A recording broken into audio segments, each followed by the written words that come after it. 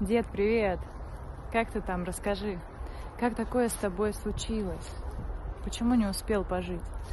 Чтобы у нас с тобой получилось разложить в головах своих кучу теплых воспоминаний. Помнишь, бабушка на нас двоих выливала ведро ворчаний? Помнишь, мы с тобой пришли после речки в грязи по колено? Помнишь, вместо грибов принесли ей из леса большое полено? Трактор, свитер, что съела моль, и ковер на стене с узором. Помнишь, в чае вместо сахара соль? Вот это была умора. Только бабушке не говори, а то до ночи будет учить нас. Ей тогда вручат гран-при «Мисс Занудливая Россия».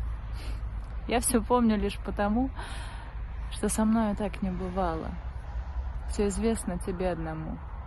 Ну а я и тебя не знала.